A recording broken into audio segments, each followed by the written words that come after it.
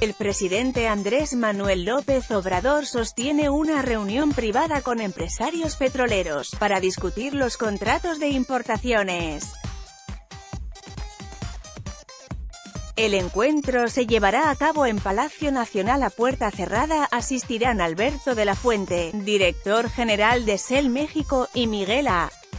Loya, CEO de Grupo Vitol, ambas empresas tienen contratos con petróleos mexicanos en materia de importación y perforación.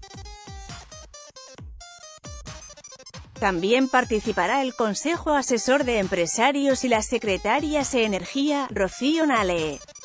En el recinto ya están Miguel Rincón, dueño de Biopapel, Bernardo Gómez, vicepresidente ejecutivo de Grupo Televisa, Carlos Hank González, presidente de Grupo Banorte, Ricardo Salinas Pliego, dueño de Grupo Salinas, y Daniel Chávez, propietario de Grupo Vidanta.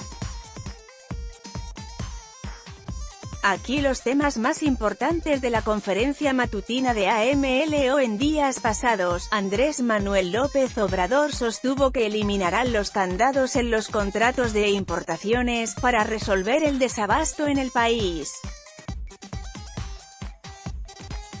luego de reclamar que Pemex sigue importando el 95% de combustibles, mientras que las empresas privadas solo el 5%, para abastecer a las 12.000 estaciones gasolineras.